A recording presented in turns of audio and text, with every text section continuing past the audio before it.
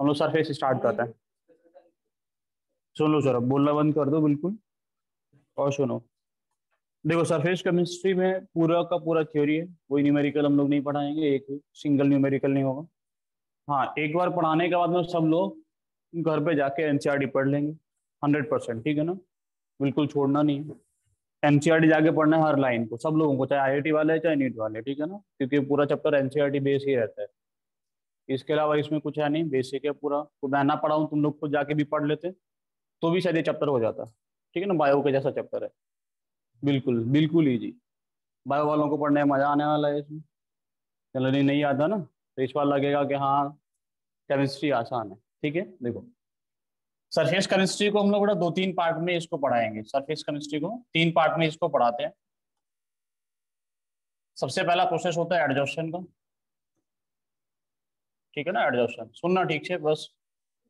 दूसरा हम लोग इसमें पढ़ेंगे बेटा कैटलिस्ट कैटलिस्ट क्या होता है, इसके बारे में थोड़ी सी कहानी। ठीक है? और तीसरा पार्ट हम लोग पढ़ेंगे मिक्सर है ना मिक्सर जानते हो कि नहीं जानते? देखो, एक मिक्सर हम तुम्हें पढ़ा दिए। कौन सा मिक्सर एक मिक्सर तुम्हें पढ़ाए, कौन सा मिक्सर सॉल्यूशन है ना? एक मिक्सर हम तुम्हें पढ़ा दिया कौन सा वाला? सॉल्यूशन ठीक है? दो मिक्सर बचा हुआ है। कौन पढ़ाना है तुम लोगों को? एक कॉलाइड और एक क्या पढ़ाना है बेटा? सस्पेंशन ठीक है ना? सस्पेंशन का कोई बेसिक ज़्यादा अच्छा कहानी होता नहीं है। सुन लो बेटा। सस्पेंशन का कोई बड़ा कहानी नहीं है। छोटा सा टॉपिक है सस्पेंशन क्या होता है? नाइन्थ में पढ़े थे, वही डेफिनेशन हम बताएँगे, आगे बढ़ जाएँगे। ठीक है? बस कॉलाइड को हम लोग इसमें डिटेल में पढ़ाएँगे। तो एक टॉपिक रहेगा कॉलाइड एक रहेगा कैटलिस्ट और एक रहेगा एडजस्टन ये तीन पार्ट में इस चैप्टर को पढ़ना होता है। ठीक है? तीनों ही पार्ट थ्योरेटिकल है। कॉलेड में लग रहा होगा कि हाँ इसमें कुछ डिफ़िकल्ट जैसा होता ही क्या? होगा ही क्या? कैटलिस्ट में भी बहुत ही इजी इजी चीज़ें, बहुत ही आसान सी चीज़ें। कैटलिस्ट में बेसिकली हम लोग फाइनली जाके क्या पढ़ेंगे? एक टर्म पढ़ेंगे जो तुम लोग बायो वाले पढ़ते रहते हैं, क्या? एंजाइम्स ठीक है ना? एंजाइम्स भी एक बायोलॉजिकल कैटलिस्ट होते हैं। क्या रहता है, क्या नहीं रहता, बस कहानी, ठीक है? छोटा मोटा प्रोसेस है, वो सब तुम्हें पढ़ाएँगे, ठीक है? तो स्टार्टिंग हम लोग कहाँ से करेंगे बेटा? हम लोग स्टार्टिंग करेंगे कहाँ से? एडजॉर्प्शन एडजॉर्प्शन एक बेसिक प्रोसेस है बेटा। एडजॉर्प्शन में क्या होगा? मान लो हम लोगों के पास में कोई भी एक सरफेस है ठीक है? जैसे तुम लोग रास्ते में धूल चिपक गई तुम्हारे हाथ से तो क्या हो गया एडजॉर्प्शन हो गया एडजॉर्प्शन का एक बेसिक प्रोसेस एडजॉर्प्शन में क्या होता है? कोई भी पार्टिकल दूसरे वाले आ, कोई भी सब्सटेंस के सरफेस पे जाके क्या हो जाते हैं बेटा? चिपक जाते हैं। तो चिपकने का प्रोसेस को एडजॉर्प्शन बोलते हैं। समझ में क्या बोल रहा हूँ? क्या बोलते हैं उसको हम लोग? एडजॉर्प्शन बोलते हैं। डेफिनेशन लिखना नॉट नेसेसरी ठीक है ना? तो एक ऐसा प्रोसेस है जिसमें क्या होगा पार्टिकल दूसरे आ, आ, किसी भी सरफेस पे जाके क्या हो जाएँगे एडजॉर्ब हो जाएँगे। ठीक है ना? सौंदर्य में क्या बोल रहा हूँ? इसको हम लोग क्या बोलते हैं? एडजॉर्प्शन बोलते हैं ठीक है? एडजॉर्प्शन जो रहता है बेटा उसमें जो पार्टिकल्स जाके चिपक रहा है जाके उससे जाके ऐड हो रहा है उसको हम लोग बोलते हैं बेटा एडजॉर्बेट क्या बोलते हैं? एडजॉर्बेट बोलते हैं। जिसके सरफेस पे जाके ऐड हो रहा है उसको हम लोग क्या बोलते हैं बेटा? एडजॉर्बेंट ठीक है ना? एक होता है एडजॉर्बेट दूसरा होता है हम लोगों के पास एडजॉर्बेंट समझ में आ रहा है कि नहीं आ रहा? हाँ? एडजॉर्बेट जो जाके चिपक गया, तुम, तुम्हारे सरफेस है, तुम्हारे हाथ पे आके चिपका, किसका पार्टिकल डस्ट का पार्टिकल तो हाथ क्या है? एडजॉर्बेंट डस्ट के पार्टिकल क्या है? एडजॉर्बेट ठीक है ना? तो एक होता है एडजॉर्बेट और दूसरा क्या होता है बेटा? एडजॉर्बेट समझ में आ रहा है कि नहीं आ रहा? एडजॉर्प्शन एक होता है absorption A B S O R P T I absorption absorption में क्या होता है बेटा? देखो, ये जो है जो सरफेस फिनोमेना क्या होते हैं? सरफेस फिनोमेना पार्टिकल कहाँ पे जाके ऐड होगा बेटा? सरफेस पे जाके ऐड होगा इसलिए सरफेस फिनोमेना ठीक है ना? एब्जॉर्प्शन में क्या होगा? ये हम लोगों के पास में कोई भी सब्सटेंस पार्टिकल क्या होगा? Enters inside the bulk particle कहाँ चला जाएगा बेटा? इनसाइड द बल्क अगर चला जाए इनसाइड द बल्क चला जाए तो उसको हम लोग क्या बोलते हैं? उसको हम लोग एब्जॉर्प्शन बोलते हैं।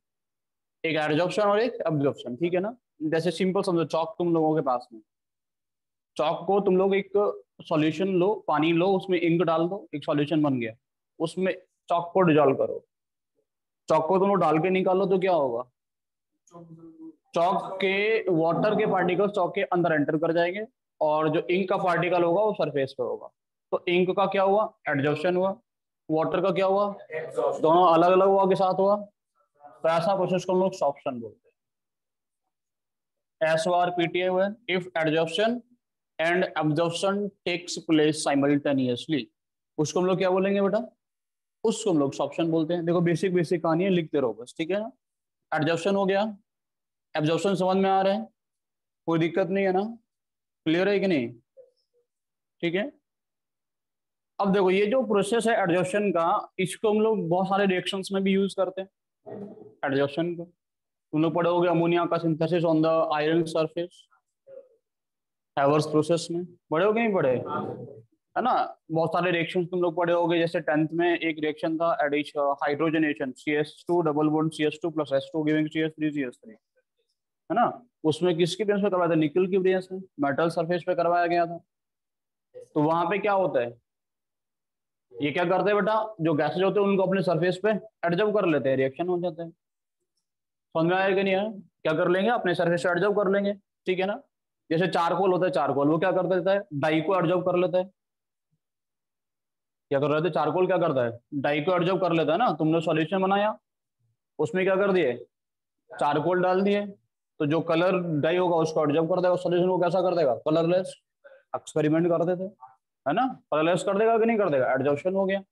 इस रूम के अंदर बहुत सारे गैसेज है।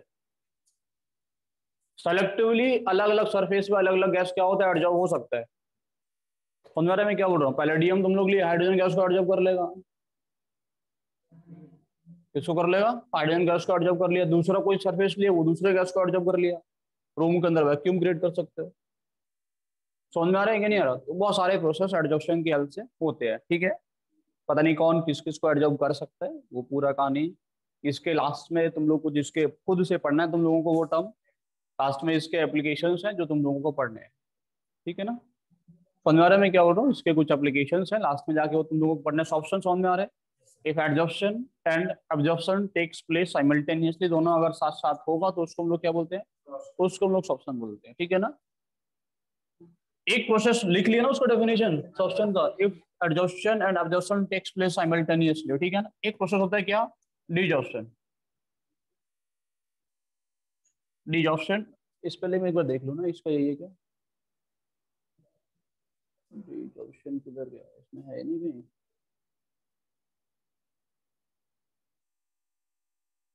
पता नहीं बेटा। यही होगा देख जो भी होगा देखना डिजॉर्प्शन समझते हो ना? डिजॉर्प्शन का मतलब क्या होगा? उल्टा। प्रोसेस ना? एडजॉर्प्शन का उल्टा। ठीक है ना? बड़ा डिजॉर्प्शन क्या होगा? Process of it is a process of removal of process of removal removal of adsorbate from from adsorbate from adsorbent surface ठीक है बेटा? एडजॉर्बेंट के सरफेस से एडजॉर्बेट को हटाने का प्रोसेस को लोग डिजॉर्प्शन बोलते हैं। सिंपल सा समझ में आ रहा होगा कि उसका उल्टा प्रोसेस है। तो तीनों चारों डेफिनेशन समझने में कोई दिक्कत नहीं है। एडजॉर्प्शन एब्जॉर्प्शन सॉफ्टन और डिजॉर्प्शन ठीक है ना? चार तरीके का हम लोग पढ़े, ठीक है? देखो बेसिक डिफरेंस एडजॉर्प्शन और एब्जॉर्प्शन में क्या रहता है? एडजॉर्प्शन हम लोगों के पास में है और दूसरा क्या होता है बेटा? एक हम लोगों के पास में होता है एब्जॉर्प्शन एडजॉर्प्शन और एब्जॉर्प्शन का बेसिक डिफरेंस क्या है? सबसे पहला बेसिक डिफरेंस तो ये है कि ये जो है it is a surface phenomena लिखो ऐसे जैसा मैं लिख रहा हूँ। ये क्या होता है बेटा? It is a surface phenomena और ये कैसा होता है? ये होता है बल्क फिनोमिना समझ में आ रहा मैं क्या बोल रहा हूँ? अंदर जाना इनसाइड द बल्क बल्क के अंदर चला जाएगा पार्टिकल ठीक है ना? समझ में आ रहा है मैं क्या बोल रहा हूँ? ठीक है? दूसरा जो एडजॉर्प्शन होता है that is a slow process वो कैसा होता है? बहुत स्लो प्रोसेस होते हैं. एब्जॉर्प्शन वेरी फास्ट प्रोसेस ये कैसा होता है बेटा? बहुत फास्ट प्रोसेस होता है. ठीक है? एक और पॉइंट ऑफ़ डिफरेंस ये है कि एब्जॉर्प्शन में अगर हम लोग इसके भी रेट की बात करें तो इन स्टार्टिंग किससे बेटा? स्टार्टिंग में रेट कैसा होता है? ऐसा लिखूँगा रेट डिक्रीजेज विद टाइम ऐसा लिख, एक समझ जाओगे ना कि स्टार्टिंग में ज़्यादा रहा होगा और rate decreases with time adsorption का जो रेट होता है, वो टाइम के हिसाब से कम हो जाता है। खुद सोच सकते हो। सरफेस ज़्यादा रेट ज़्यादा। सरफेस कम रेट कम। समझ आ रहा है कि नहीं आ रहा। सरफेस ज़्यादा तो रेट कैसा होगा? ज़्यादा होगा और सरफेस कम होगा तो रेट कैसा होगा? कम होगा। ऑब्वियसली सिंपल सा टर्म है, समझा जा सकता है। ठीक है? देखो, सुनो पहले। इसमें क्या होता है बेटा? Rate is same throughout the process rate is same throughout rate कैसा रहता है बेटा? Throughout the process same रहता है। स्टार्टिंग से लेके लास्ट तक रेट कैसा रहेगा सेम एडजॉर्प्शन स्टार्ट हुआ एडजॉर्प्शन एब्जॉर्प्शन स्टार्ट हुआ एब्जॉर्प्शन बंद हो गया। पंद्रह में क्या बोल रहा हूँ इनसाइड तो बल्क जाएगा ना, जब तक बल्क के अंदर उसका कैपेसिटी है गेन करने का गेन कर, करेगा, बंद हो जाएगा पंद्रह रहेगा नहीं आ रहा, ठीक है ना? तो एब्जॉर्प्शन में रेट जो रहता है, वो सेम रहता है एब्जॉर्प्शन में रेट स्टार्टिंग में ज़्यादा होता है धीरे धीरे कैसा होता है, कम होता जाता है। ये तीन बेसिक डिफरेंस है, आपको समझ में आ रहा होगा, लिख लिया आप लोगों ने। लिखो बेटा types of adsorption AD types of adsorption ठीक है? सभी लोगों ने लिखा? कोई ऐसा ही जिसको समझ नहीं आ रहा है? लिखो टाइप्स ऑफ़ एडजॉर्प्शन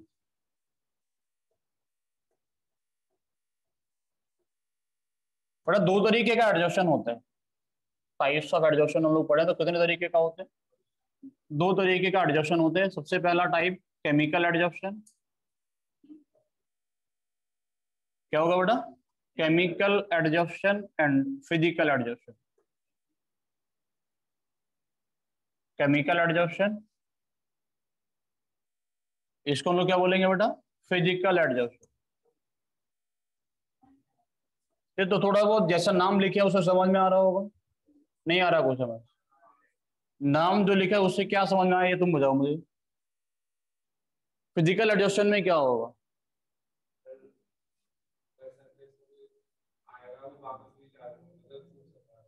आवाज़ सुन केमिकल में क्या होगा? रिएक्शन कर जाएगा ना, कोई बॉन्ड बना लेगा। सिंपल सा वही कहानी ठीक है ना बेटा? एक प्रोसेस जिसमें कोई बॉन्ड बन जाता है, एक प्रोसेस जिसमें कोई बॉन्ड नहीं बनता है, ठीक है ना?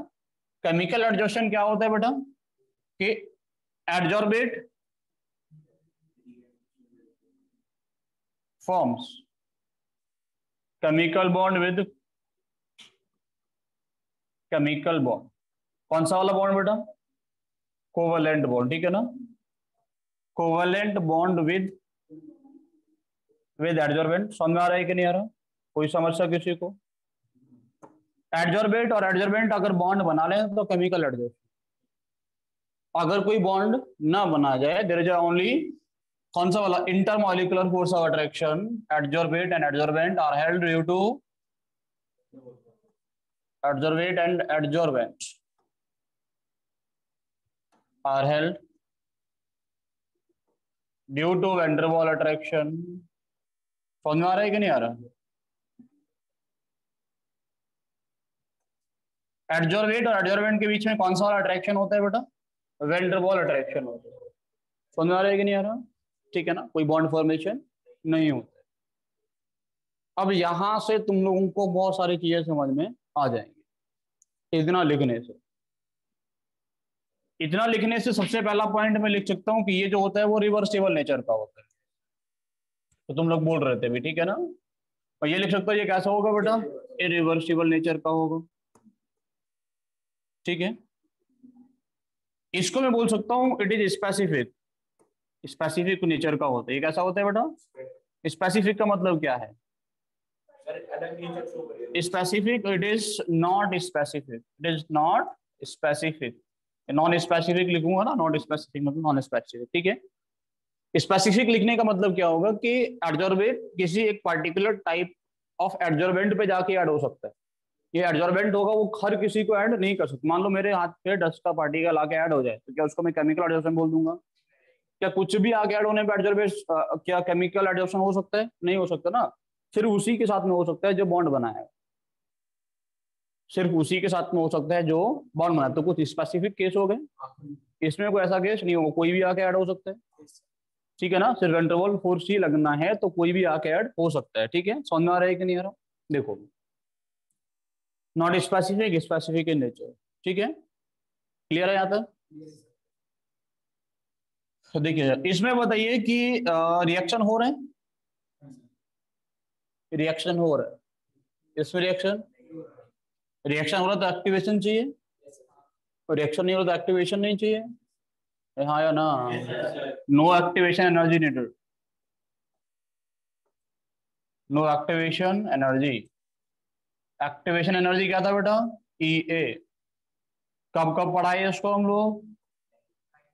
काइनेटिक्स में पढ़ाए और थोड़ा बहुत किसे पढ़ाए थे? केमिकल इक्विलिब्रियम तो टेम्परेचर का इफ़ेक्ट पढ़ाए थे तब कैटालिस्ट का इफ़ेक्ट पढ़ाए थे तब बताए थे ना activation energy is required activation energy is required ठीक है बेटा? इसमें एक्टिवेशन एनर्जी का रिक्वायरमेंट होता है, उसमें एक्टिवेशन एनर्जी का रिक्वायरमेंट नहीं होता है। समझ आ रहा है मैं क्या बोला? कोई दिक्कत? क्लियर है सब कुछ? एक प्रोसेस में एक्टिवेशन चाहिए, दूसरे वाले प्रोसेस में एक्टिवेशन नहीं चाहिए। एक्टिवेशन एनर्जी रिएक्शन को करने के लिए एनर्जी चाहिए। रिएक्शन को रिएक्टेंट को प्रोडक्ट में कन्वर्ट करने के लिए जो एनर्जी रिक्वायर्ड होती है, उसको एक्टिवेशन बोलते हैं। नीचे से ऊपर तक चढ़ के आए, कोई एनर्जी वेस्ट हुआ, वही एक्टिवेशन है। ठीक है ना?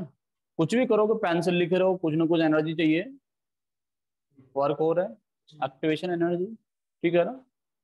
तो कोई प्रोसेस करने के लिए जो एनर्जी रिक्वायर्ड होता है, उसको क्या बोलते हैं हम लोग? एक्टिवेशन एनर्जी बोलते हैं। ठीक है ना? एक एक्टिवेशन वर्ड लिखवाए, एक थ्रेशोल्ड वर्ड लिखवाए थे। टोटल एनर्जी और थ्रेशोल्ड एक्टिवेशन जो कितना रिक्वायर्ड है वो। ना, दो वर्ड हम लिखवाए थे। ठीक है? तो एक्टिवेशन एनर्जी का रिक्वायरमेंट होता है। सुनो पहले, एक बात ये समझना कि जो एडजॉप्शन होता है एडजॉप्शन जो होता है बेटा एडजॉप्शन इज़ एक्जोथर्मिक प्रोसेस कैसा होता है बेटा? एक्जोथर्मिक प्रोसेस होता है। कैसा होता है? एक्जोथर्मिक प्रोसेस ठीक है? तुम खुद सोच के देखो कि पार्टी के जब सॉलिड के सरफेस पे कोई पार्टी का ला के ऐड हो गया। मान लो पैलेडियम ने हाइड्रोजन गैस को ऑब्ज़र्व कर लिया तो उसका एनर्जी कम होगा कि बढ़ेगा? एनर्जी कम हो जाएगा ना। पहले घूम रहा था। रैंडमनेस बहुत ज़्यादा थी। अब क्या हो गया? चिपक गया। चिपकना मतलब अट्रैक्शन का फोर्स होना अट्रैक्शन का मतलब एनर्जी रिलीज़ होना। समझ में आ रहा है कि नहीं आ रहा? मैं क्या बोल रहा हूँ समझ में आ रहा है कि नहीं आ रहा? कैसा हो जाना बेटा? स्टेबल हो जाना, ठीक है ना? एक्जोथर्मिक प्रोसेस है। तो adsorption is favoured by low temperature it is favoured by low temperature समझ में आ रहा है कि नहीं आ रहा? लो टेम्परेचर इसको फेवर करते हैं। अभी तुम लोगों ने ये पढ़ा नहीं है। Delta G is to delta H minus C delta है ना? किसी ने पढ़ा नहीं, इसलिए मैं इसके बेस पे इसको एक्सप्लेन नहीं कर रहा हूँ। मैं इसके बेस पे भी एक्सप्लेन कर सकता हूँ। ठीक है ना? स्पॉन्टेनियस प्रोसेस के लिए डेल्टा जी कैसा चाहिए? मुझे नेगेटिव चाहिए। डेल्टा जी नेगेटिव चाहिए तो मुझे क्या क्या चाहिए? चाहिए मैं इसके बेस पे भी उसको एक्सप्लेन कर सकता हूँ, लेकिन अभी तुम लोगों को इसको नहीं समझा रहा हूँ इसको मैं। ठीक है ना? तो एडजस्टन जो होता है वो एक्जोथर्मिक प्रोसेस होता है, इतना समझो। वो तुम्हें समझ में भी आ रहा होगा कि हाँ एक्जोथर्मिक ही होता है। और तो हमें क्या, कौन सा टेम्परेचर चाहिए बेटा? लो टेम्परेचर हम लोगों को रिक्वायर्ड रहता है। समझ में आ रहा है कि नहीं हो रहा? लो टेम्परेचर रिक्वायर्ड होगा तो टेम्परेचर बढ़ने से एडजस्टन कम होगा कि घटेगा? बढ़ेगा कि घटेगा? खुद सोचो। टेम्परेचर बढ़ाएँगे तो क्या होगा? तुम खुद सोचो टेम्परेचर बढ़ा दिए। हाइड्रोजन गैस एनर्जी मिलकर छूट के भाग जाएगा। एडजस्टन बढ़ेगा कि कम हो जाएगा? ऑब्वियसली कम हो जाएगा। समझ आ रहा है कि नहीं आ रहा? तो टेम्परेचर की हम लोग बात करें तो टेम्परेचर का टेम्परेचर का अगर मैं एक्सटेंट ऑफ़ एडजस्टन पे बात करूँ एक्स एम सुन लो बेटा एक्स एम क्या है? एक्स अपॉन एम क्या है? X upon m is the extent of extent of समझ आ रहा है कि नहीं आ रहा? Extent of adsorption extent of adsorption क्या है? एक्सिस एक्स क्या है यहाँ पे? X is the mass of adsorbate.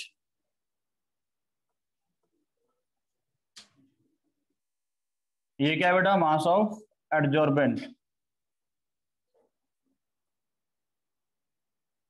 mass of adsorbate ये क्या है? मास ऑफ़ एडजॉर्बेंट समझ आ रहा है मैं क्या बोल रहा हूँ? Mass of adsorbate mass of adsorbent ठीक है ना? एक्स अपॉन एम क्या है? Extent of adsorbent extent of adsorbent क्या होता है? It is the amount of adsorbate adsorbed per unit mass of adsorbent define कर सकते हैं ना? फिजिक्स में डेफिनेशन डिफाइन करना सीखे हो कि नहीं सीखे? नीचे वाले को वन मान लो लिख दो कहानी।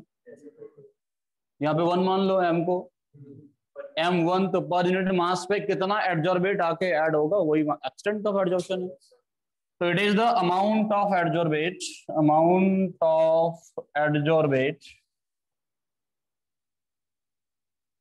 है ना? Adsorbed per unit mass, per unit mass of adsorbent समझ में आ रहा है कि नहीं आ रहा? कोई समस्या नहीं है ना? अगर चैप्टर खत्म नहीं हुआ तो इसको कंटिन्यू करते रहेंगे तीन बजे तक। बीच में आधा घंटे का ब्रेक देंगे खत्म करेंगे लेकिन आज। बेटे खत्म होना तो हम इसको दो घंटे में खत्म कर दें लेकिन तुमको समझ में आना चाहिए ना।